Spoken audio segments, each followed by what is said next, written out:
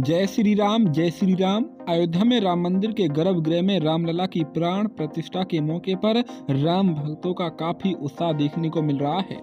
रामलला की प्राण प्रतिष्ठा को लेकर तैयारियाँ पूरी हो गई हैं। पूरे देश में इस वक्त जश्न का माहौल बना हुआ है। 22 जनवरी को रामलला अयोध्या में बने भव्य राम मंदिर में विराजमान हो जाएँगे। रामलला की मूर्ति की प्राण प्रतिष्ठा के मौके पर राम भक्तों ने घर घर जाकर लोगों को रामलला की प्राण प्रतिष्ठा के लिए निमंत्रण पत्र भी दिए हैं।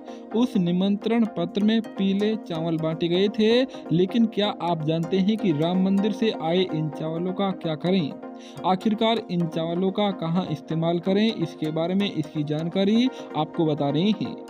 पंडित दिलीप द्विवेदी का कहना है कि रामलला की प्राण प्रतिष्ठा के लिए नौता के रूप में मिले पीले चावलों को बहुत शुभ माना जा रहा है।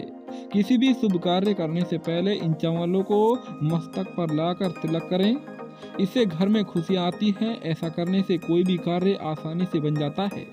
इसके अलावा लोगों के घर घर राम मंदिर से आए पीले चावलों को आप खीर में इस्तेमाल कर सकते हैं और केसर डालकर भगवान को भोग लगा सकते हैं।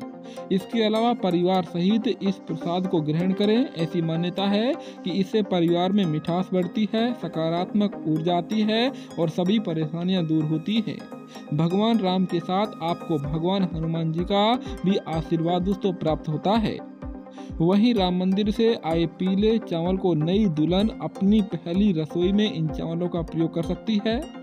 मान्यता है कि इससे माँ अन्नपूर्णा की घर में वास करती है। ससुराल के रिश्ते मज़बूत होते हैं। भगवान राम के साथ आपको भगवान हनुमान जी का भी आशीर्वाद मिलता है। राम मंदिर से आए पीले चावल को घर में बेटी की शादी है तो उसे पीले चावल को अक्षत में डाल दें। इससे घर में बरकत आती है और ससुराल और मायका दोनों घर में सुख, शांति और समृद्धि बनी रहती है। भगवान राम के साथ आपको भगवान हनुमान जी का भी आशीर्वाद मिलता है। तो अब तक की सबसे बड़ी खबर इस वक्त आ रही है। राम मंदिर से आए पीले चावलों का इस प्रकार आप दोस्तों उपयोग कर सकते हैं ताकि आपके घर सुख, शांति रहे। बता दें कि 22 जनवरी का दिन हर किसी के लिए ऐतिहासिक रहने वाला है और कुछ घंटे की बात है जब प्रभु श्री राम अयोध्या में विराजमान होंगे। कमेंट बॉक्स में जय श्री राम ज़रूर लिखें।